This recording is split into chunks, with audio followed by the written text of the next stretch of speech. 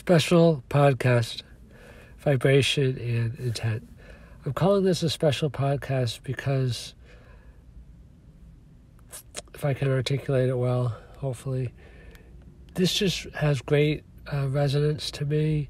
Um, I think it's one of the most important topic ideas that I've ever thought about or talked about, and uh, I'll try to explain why. So, there's a notion called harmonic resonance, which means that um, when you strike a a chord like a A chord on a piano, another piano A chord will vibrate if it's in the vicinity, even though you haven't struck that. It just is stimulated by the vibration in the air. It is basically the basis um, analogously for the law of attraction that we are a result of our thinking, and our thinking is basically a reflection of our vibration. That if we're very loving, we attract a lot of love in our life. That, again, this is not a blame thing. I've talked about this elsewhere, because uh, good, uh, bad things do happen to good people. There's a lot of different reasons for it. I mean, you could listen to some of my other podcasts, my views on it, because that's a whole major topic in itself. But harmonic resonance states that we attract or we vibrate. Um, and string theory, which is the major theory of the universe now of how it's constructed, is basically the same thing, saying that every object is just a vibration, a different vibration. That you know, a tree is a certain vibration. Obviously, there's many different kinds of trees. A rock is a certain vibration. Hydrogen is a certain vibration. Oxygen is a certain vibration. And our universe is just created out of these different vibrations. The law of attraction says the same thing that um, that uh, our lives are just a reflection of our our vibrations of energy that we have. As I was trying to say before, if we're very loving, then we attract a lot of love, and if we are very angry, we attract a lot of anger. Again, I would refer people if you're interested to you know, my po- podcast about why bad things happen to good people because too many people use the law of attraction to try to blame or justify um, other people, which is really wrong. You should never blame anyone for anything, and you shouldn't blame yourself either. I talk about that. I mean, that's my view. I'm sorry I have a little bit of a scratchy throat today. I'm a little bit under the weather, but um, and the idea of intent is in, is applied to vibration because two people can have the same actions.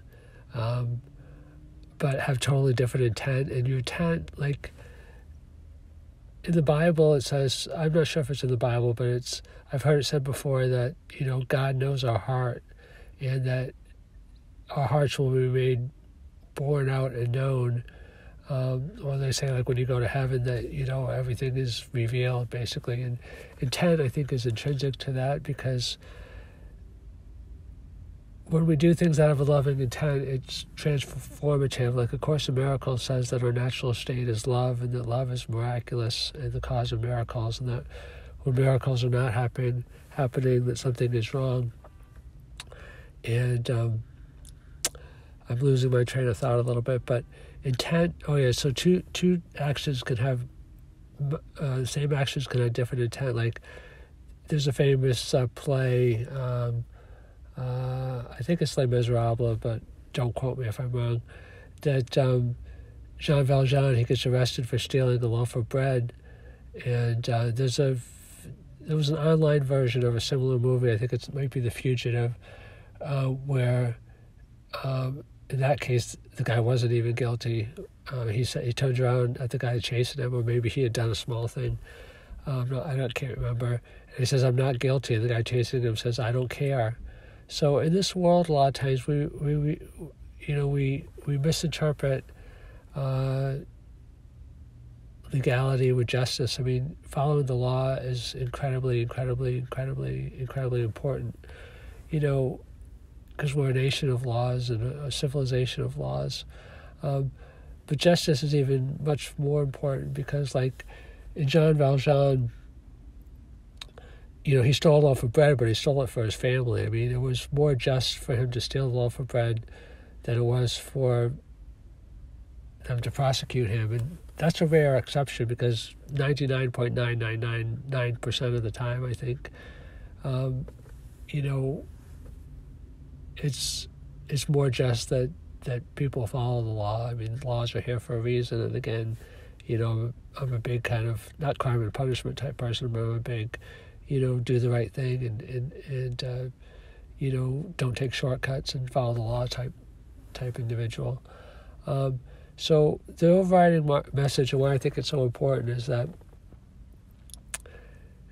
the world is really just a reflection of our own mindset and our own thinking and our own heart.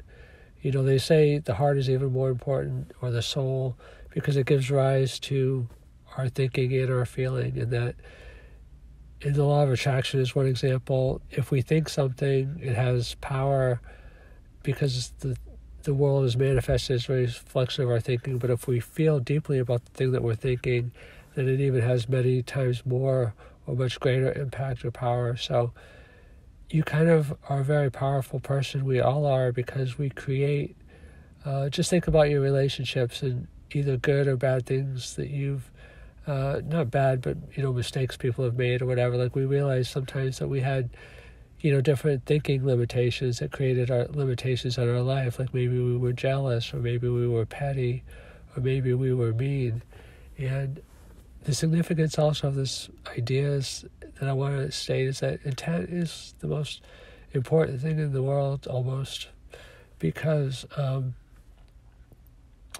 you know we're sent here or we come here I believe to kind of evolve in personal growth and be of service to others and a servant mentality and our intent in doing that is everything that uh, is uh, known about that and and demonstrated about that. And that's why there's a famous expression that says, you know, well done, my good and faithful servant. That if we're true to our mission, if we're true to our highest calling, if we have pure intent, then um, we've done what we were called to do, and we uh, are are functioning at our highest level of vibration, our our greatest good, our highest self.